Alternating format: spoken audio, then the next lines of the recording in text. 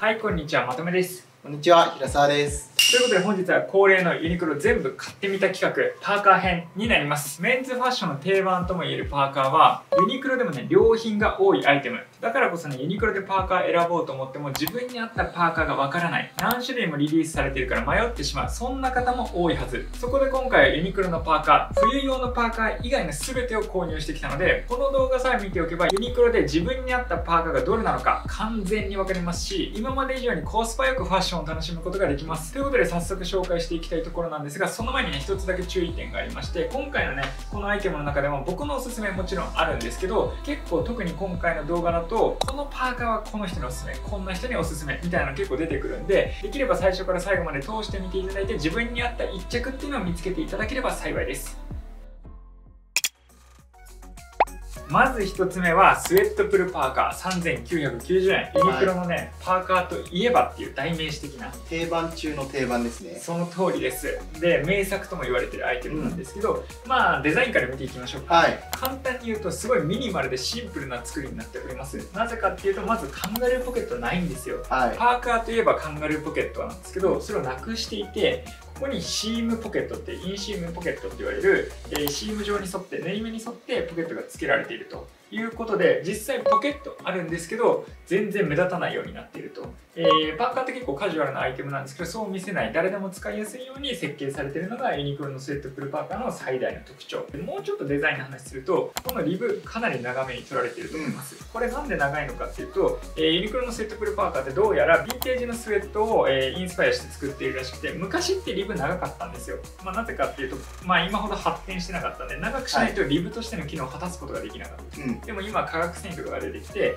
まあ、本当は短くてもリブとしての機能を達することができるんですけど昔のディテールを残したかったんでこうしているらしいということでね、まあ、ユニクロって本当洋服好きが作るブランドなんで、まあ、そういうところがねこういったディテールからもね感じ取れるなと思います。伝統に忠実ですよね。そうですね。ユニクロは本当デニムとか見ていても、はい、うん、作りがねすごくね基本に忠実に作られています、はい、えー、でドローコードも同色になっていてスピンドルもそんな目立たないような仕様になっていてこのハトメも目立たないですしとにかくミニマルに作りつつもヴィンテージライクな風合いが残っていると。それがユニクロの、えー、セットプルパーカーのデザインの特徴です。このスピンドルのメタル感が結構良くないですか？いいですよね。この全然チープな感じしないですし、うん、えー、全体の印象締まって見えてとてもいいアクセントになってるなと思います、ということでそんなユニクロのスウェットプルパーカー実際に着用してみたんでそちらご覧ください。ということで実際に着用してみました。170cm 55kg の僕が XL サイズ着用してこれぐらいのサイズ感になっています。横から見るとこのようにななっていて後ろはこんな感じです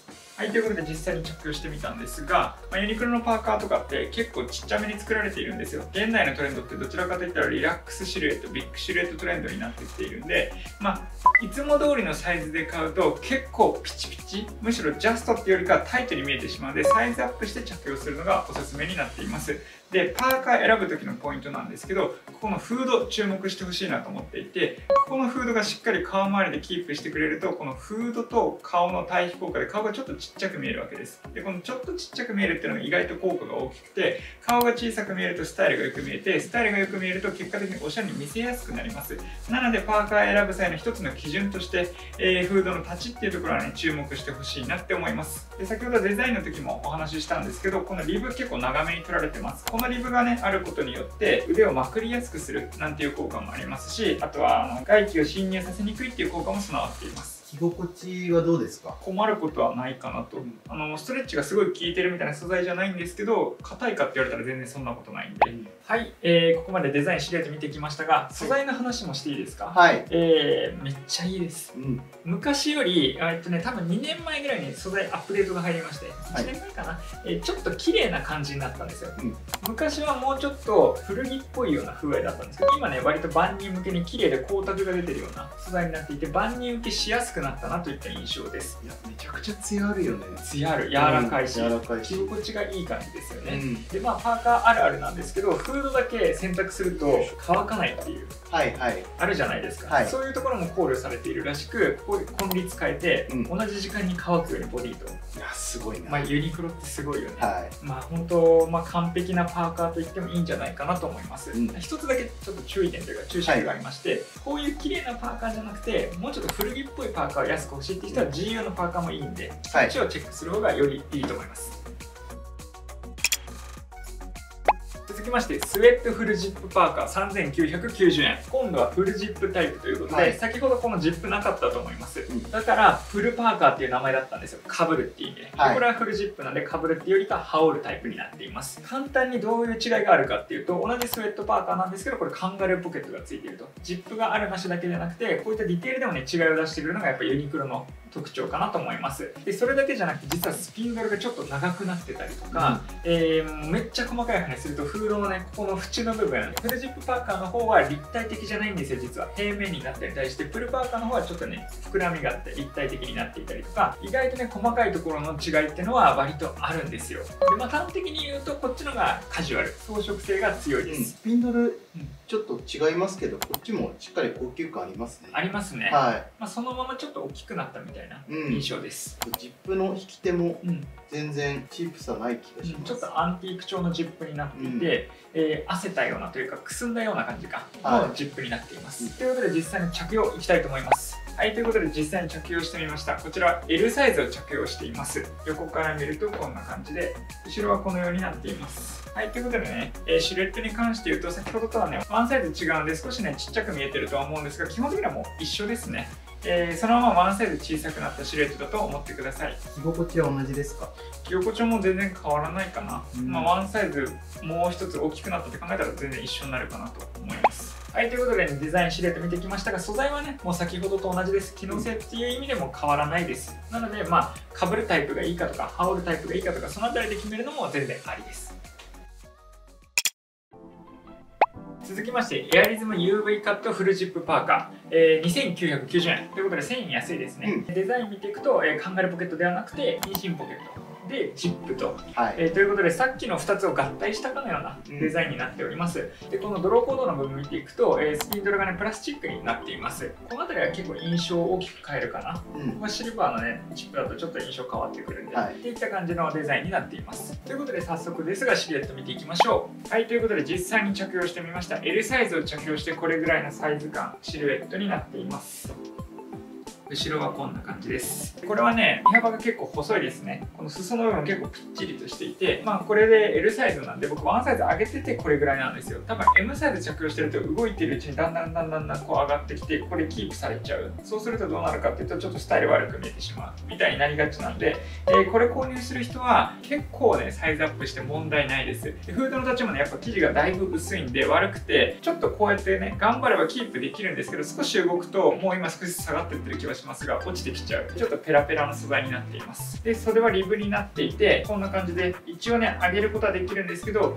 そんなにここの締め付け強くないというかかなり緩いんで、まあ、これはねまあフルと同じくちょっと動いてると落ちてきちゃうかなっていう体感です。エアリズムですけど、はい、こっちはどうですか？特段いいとかは感じなくてまああのエアリズムってどっちかっていうと動きやすいっていうよりかは接触冷感とか夏場でも着れるようなアイテムだったりするんで、まあ、着心地現時点では別にそんな感じないんですけど、まあ、夏になってきたらよく感じるかもしれないです。はいということでデザインシルエット見てきましたが素材いきましょうか。はい。もうめっちゃ薄くない？うんもうね右手がちょっと楽です。楽、はい、ずっと上げてくれてるからね。そうですね。これ軽いですね。はい、えー、まあエアリズムっていうことでこれは夏でもねいけそうなパーカーですね、はい、あの真夏はさすがにきついかなっていうところなんですけどでも多分あの紫外線とか嫌だっていう人は真夏でもこういったものに着用するんで、うん、そういった人でもギリギリ着れるような設計になっていると、はい、いうことで接触冷感あったりとか、うん、あの乾きやすかったりとかいうエアリズム機能を搭載した、えパーカーになっております。これの表の感じで言うとちょっと木調のスウェットっぽい雰囲気を頑張って出していると、はい、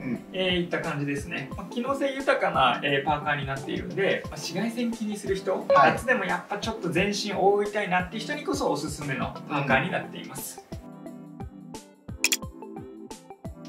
きましてストレッチドライスウェットフルジップパーカー3990円、まあ、スポーツ用かな、のパーカーになりました。なんでもう見た目も結構変わったんですけど、はい、まあ、フルジップタイプでインシムポケットになっているといったパーカーになっております。結構ね、えー、ミニマルにシンプルに作っていて、はい、この後実際着用するんですけどかっこいいんですよ。そうですよね、うん、なんかスポーツ用とはいえ、意外とデザインはそうそうそうそう。なんで先に言っちゃうと、はい、スポーツする時とかに着用したい。例えばなんかランニングする時とかに着用したいけど、見た目も気にするって人はこれかなりいい、うん、えー、でこの後実際にねちょっとストレッチのキーワードも言いますけど、はい、まあ聞いてますね、うん、うん、まあ実際の着用見てもらいましょうか。はい、はい、ということで実際に L サイズを着用してみました横から見るとこんな感じで後ろから見るとこのようになっています。はいということでね今回ちょっと特徴的なこのネックで高い位置までジップが来るようになっています。でフードがどうなのかっていうとフード結構ちっちゃいんですよ。これまで来たやつと、見返してもらえると違いはっきり分かるんじゃないかなと思うんですけどフードは結構小さくなっていてただタッチは綺麗になっています。でネックも高くなっているっていうことで小川効果はしっかりとあります。でこのパーカーって運動用向けにねスポーツ用に作られてると思うんですけどこの袖はリブがね全然ないんですよ。なので、まあ、肘を越すぐらいまでこうやってやるとあんま落ちてこないんですけど、まあ、ここぐらいで止めておくと、えー、ちょっと落ちやすいっていうところがあるんで運動する時に袖まくりたいとかいう人はちょっとね要注意かなと思います。ストレッチ性はどうですか？すごいですこれは。十分ありますねストレッチ。がっつり入ってます。はいということでデザインシルエットと見てきましたが素材すごくないですか？ストレッチ。ねすごい伸びるんです伸びる。伝わるかな、うん、伝わってると思う。伝わりますかね？伸びる。で見た目もねかっこよかったじゃないですか、はい、普通にやっぱおすすめしたいパーカーになってます。うん。あとスポーツ用ならではだと思うんですけど、はい。ここにジップのポケットがついてますね。ですね。ジップポケットないと、あの走ってる時とか運動してる時に落ちちゃうっていう可能性があるんで、まはい。あ、ここに小銭とか、はい。なんか今だったらなんだろう、まあ、 Suicaとか入れてると結構便利なんで、確かに。メッシュになってますね。さすがスポーツアイテムですね、とてもやっぱ優れたアイテムだと思います。でねはい。分かりづらいのが、はい。ウルトラストレッチ版もあるんですよ。そうなんですよ、はい。それ本当にストレッチやばいね。なるほど。すごいよ。はい。ぐにゃぐにゃ。じゃあ見てみましょうか。い。きましょうはい。ということでこちらがウルトラストレッチドライスウェットフルジップパーカー、はい。3990円。めっちゃ伸びます。伸びますね。やばい。360度伸びるんでウルはいトラストレッチ、縦にも横にも。縦にも横にも伸びる、えーでデザインの話していくとかなりカジュアルな作りになってます、はい。で先ほどとね結構くくりとしては似てると思うんですけどもう明らかに目立ちますよね、うん。ジップラインとか、はい。えー色を変えて切り替えてきて目立っていますしここもねステッチとかもすごく目立つようになってるんですよ、うん。でこっちはラグランスリーブになってます。はい。これだけねセットインスリーブじゃなくて、うん。まあ一般的にはちょっと肩動かしやすいとか言われるんで、まあよりスポーツに特化したような作りになってるかなって感じなんですけど、うん。まあ普通のセットインスリーブでもはい。肩動かしにくくないじゃん別に、うん。だからあんまりそこは感じないとは思うんですけど、はい。まあデザインとして捉えた方が実際はいいかなと思います、でポケットもねやっぱジップついてると、はい。まあよりスポーツライクになった印象です。引き手も長いから開け閉めがしやすそうですね。しやすい。まあなんか手袋しててもねす。すぐに掴めますしうん。まあ本当に使いやすくなったなといった印象じゃあ実際に着用いきましょうか。はい、ということで実際に L サイズ着用してみました。横から見るとこんな感じで後ろはこのようになっています。はいということでこちらなんですけど先ほどのねパーカーとまあ商品名も似ていますが形も似ています。基本的には同じでフードそんな大きくないけど立ち綺麗ですしネックも高めになっています。でシルエット若干違うのはよりねここは立体的に丸っこくなっていますね、まあ、このサイドのパターン見ても分かる通り、えーちょっと立体的なものづくりされているんでより立体的な形が構築されています。で袖なんですけど先ほどと同じくちょっと落ちてきやすいです。締め付けは弱いです。ウルトラストレッチということではい。動きやすさはどうでしょまあ先ほどのでも十分ね良かったんで自分が動いてる分にはそこまで違い感じないんですけど生地触って伸ばすともうちょっと別格に伸びる。ううん。特にこれの違いって、えー縦にも伸びるんですよ。先ほどのねストレッチだと横だけなんですけどこっちはね360度どこでも伸びるようになっているんでまあ運動してるといろんな動きすると思うんでそういう時にね違いがしっかり出てくるのかなと思います。はいということでデザインシルエット見てきましたが素材がこっちのがね厚みがすごい。うん。さっきのね、えーほぼ商品名一緒なんですけど、はい。ウルトラストレッチタイプの方が分厚いし分厚いですね。伸びもすごい、はい。まあ、それがねやっぱ素材の大きな違いかな。でこっちはちょっと木調なんかなかなかないですよねこの素材。うん。しかもこんな伸びるパーカーを見たことがない。ないよね。いいからすごいよね。すごい。ぐにゃぐにゃぐにゃ実際はねちょっと大きめに来たらそんなに伸縮性って必要ないのかもしれないゃうんそうですね。感じないと思います、はい。ただ運動まで行けば感じるかな、うん。スポーツまですれば。これどんな人におすすめですか？これはですねさっきと違って、はい。もう見た目ある程度まあうんいいかな、とにかく動きやすくて運動しやすいのが欲しいなって人はこっちの方がよりおすすめです、なるほど。見た目のかっこよさとうん。機能性のバランスを重視するならさっきのがおすすめ。そうですね。ドライストレッチの方、はい。でもこっちは完全に機能性特化の人の方がより合ってるかなといった印象です続きましてこちらポケッタブル UV カットパーカー3990円。これ僕よく着てるんですよ。着てますよね。着てます、は普通にかっこいいし、いうん。まあ、この後まあちゃんと説明するんですけど、はい。すごくいい、うん。まあ、まずデザインからいきましょうか、はい。かなりミニマルに作ってます、はい。今までいろいろねパーカー紹介してきたと思うんですけどこんなに主張がないパーカーって初めてじゃないですか。うん。なんか例えばポケットがカンガルーポケットがついてるわけでもない。はい。えジップで色の切り替えがあるわけでもない、はい。ステッチも目立たないと、うん。まあ、いわゆる、ね、生地でしか見えないような状態、はい。ですごくミニマルで、まあ、誰でも合わせやすい、うん。これで黒選んどけばまあそうそうねこういうのと悩むことはまずないですね。確かに。失敗がないですよね。失敗がない。本当にね万能な、えーはい。アイテムになっています、うん。ということで実際の着用いきましょう。はいということで実際に着用してみました。XL サイズを着用してこれぐらいのサイズ感シルエットになっています横から見るとこのようになっていて後ろはこんな感じですフードはですね、えーまあ中ぐらいのサイズ感かな。ネックもほんのちょっと高めに設定されていて、まあまあ残るぐらいのフードになっています。デザインのミニマルさと相まって、まあ、見た目的には一番合わせやすいですし、僕もね結構個人的に使っているパーカーになっています。今回、まあ黒だったんで、パンツも黒にしちゃうと分かりづらいかなと思ってグレーで合わせてみたんですけど、まあまあこのコーディネートとかで結構かっこいいですよね。普通におすすめのパーカーになっています。普段？どういう時に使ってますか？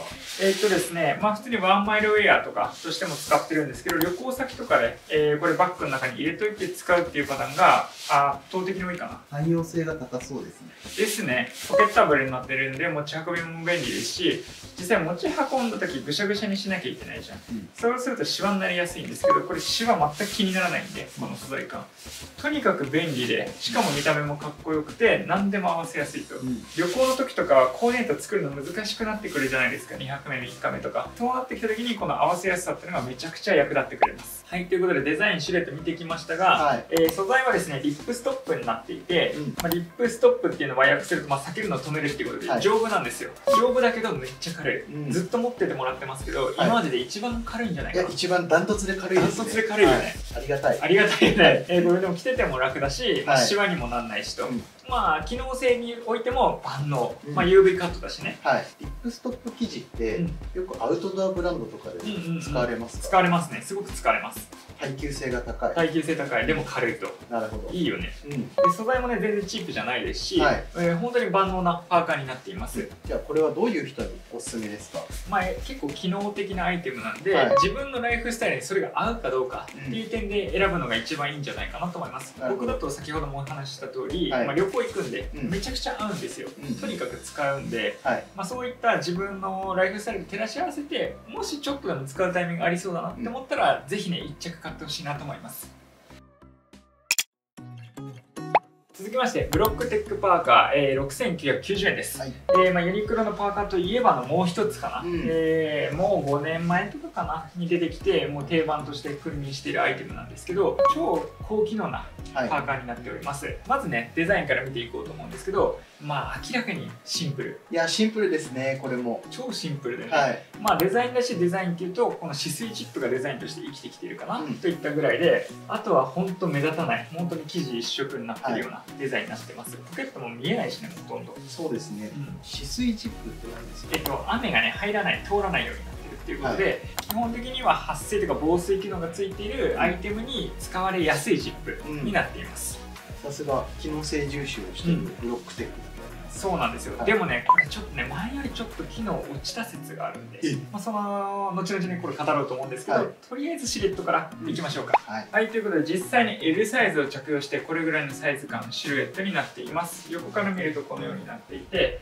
後ろはこんな感じです。はいということでね、えーユニクロの名作パーカーの一つであるブロックテックパーカーなんですけどネックの位置結構がっつり高め顎を全然超えるぐらい高めになっていてフードもね結構残ってくれますねここが厚みがあるってわけじゃないんですけど素材自体は薄いんですけどしっかりとね残ってくれるようになっています。えーなのでシルエット的にも結構顔を小さく見せてくれますしおまけに裾に向かってだんだんちょっと広がっていくような緩やかな A ラインシルエットにもなっていて袖もですね、えーこんな感じで絞れるようになっているんですよ。結構いろんなことができるパーカーになっています。ハイブリッドダウンパーカーを薄くしたようなあーなるほどなるほど。はい。確かにちょっとこの表の表面感が似てるかもね、うまあ、デザインも若干似てるし。ん、動きやすさどうでしょう？あー動きにくい。うん。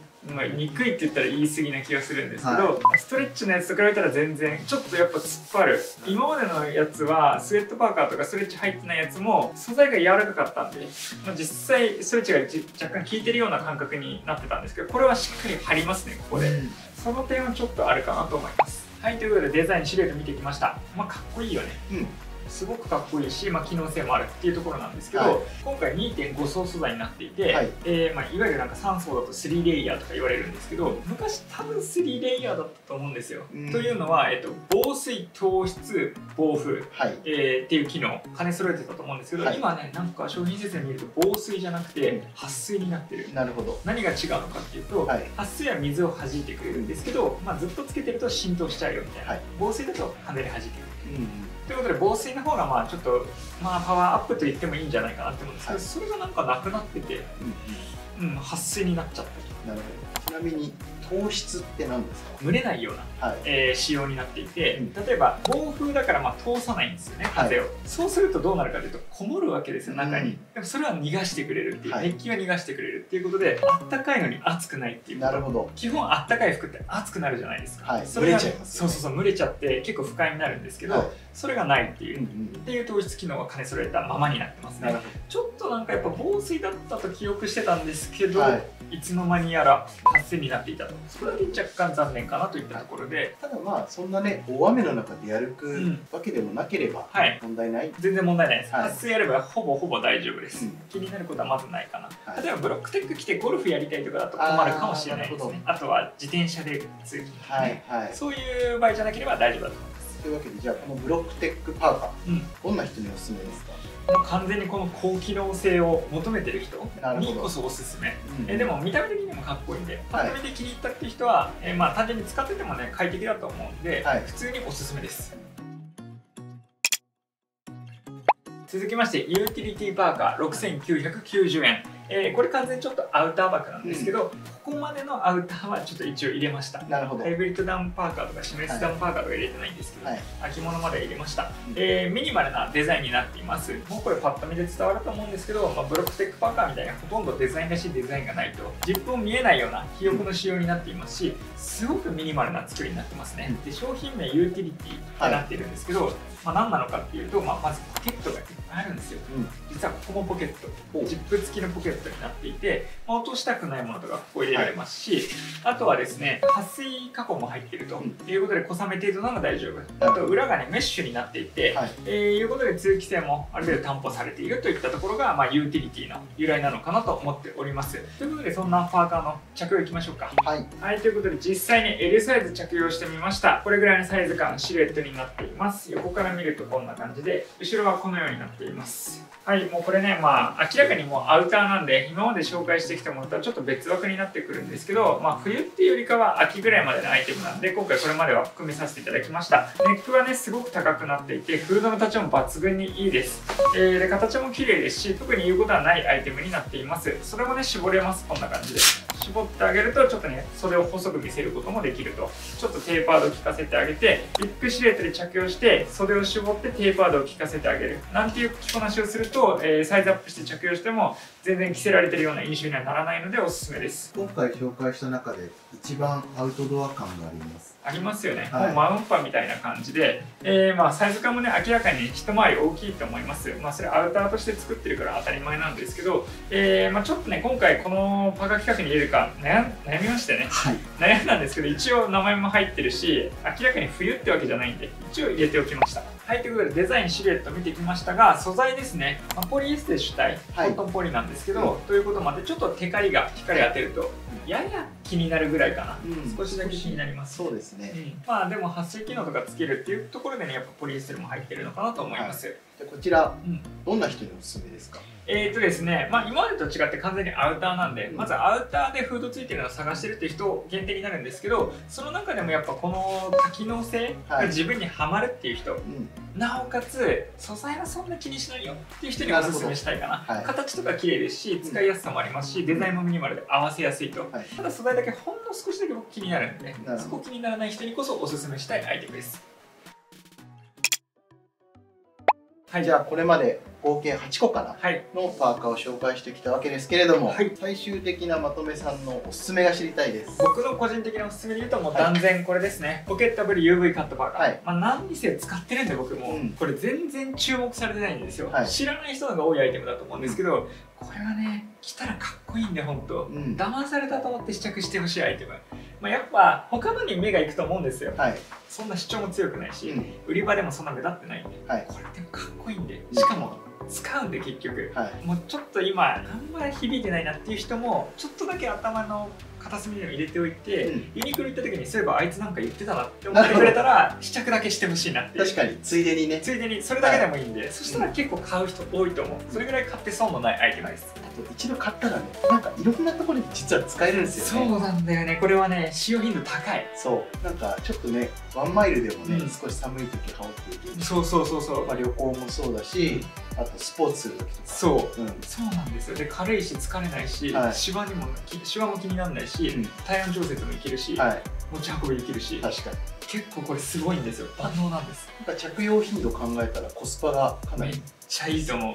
これで4000円でしょ？はい、激安。うん、はい。なんかすごい激推ししてたんではい。これを見てくれた方がね、はい。ちょっと気になる方もいると思うんではいはい。実際に購入したいなと思った時は、うん。サイズどれぐらいを選べばいい？サイズアップは絶対してほしい、はい。で僕は2サイズアップ。2サイズアップ、うん、1 7センチ5 5キロなんですけど、はい。XL いってます。なるほど。まあ少なくともワンサイズアップぐらいはうん。するのがおすすめで、はい。まあ、ブラックが一番無難。なるほど。でも下黒パンって考えるとはい。割と何のどんなカラーでも合うんで、うん。まあ、そのあたり自分のコーディネートでうん。選んでいただければなと思うんですけど悩んだらとりあえず黒ではい。2サイズアップ。はい。もうこれでいってほしいなと思います。僕の YouTube チャンネルでは次の洋服何買えばいいんだろうをテーマに様々なアイテムを実際に購入して比較して本当におすすめできるアイテムを厳選して紹介しています。誰でも確実におしゃれになれるよう情報発信していますので今よりももっともっとファッションを楽しみたいそんな方はこの機会にぜひチャンネル登録していただけたら幸いです。今回はユニクロのパーカーを全部紹介しましたがこの企画以外にもですね全部買った企画って僕やっていて例えばユニクロのベルトだったりバッグだったりダウンだったりシャツだったりもう今までねいろいろやってきてるんでそちらもね合わせて見ていただければと思いますし今後もこの企画継続していくんで他のユニクロ全部買った気になるなっていう方はぜひチャンネル登録してお待ちいただけたら嬉しいです。ご視聴いただきありがとうございました。バイバイ。